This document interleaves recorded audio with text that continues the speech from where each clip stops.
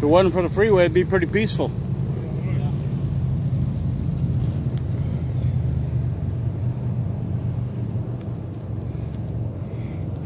Say hi to Pat.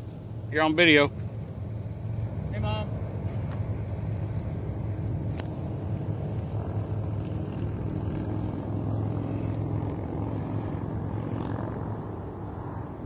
You on video?